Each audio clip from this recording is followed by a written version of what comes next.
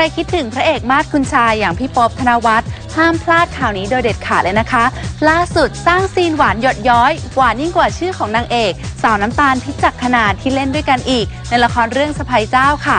สาวๆคนไหนพร้อมละลายแล้วไปกันเลยค่ะ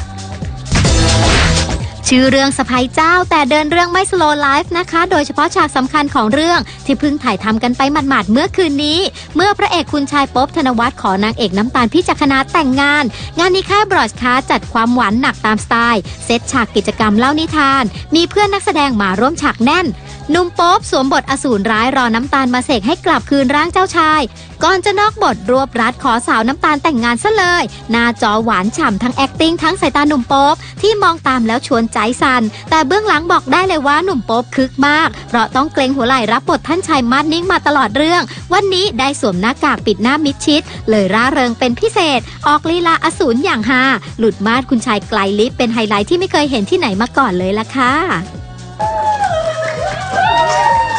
ก็อิน เพราะว่าเราต้องทำให้ดีที่สุดอะไรเงี้ยเหรอตอนเป็นอสูรหรือเปล่า ก็จะเล่นเป็นเจ้าชายอสูรด้วย แล้วพอนางฟ้ามาเสกเราปุ๊บเราก็จะกลายเป็นเจ้าชายที่แบบ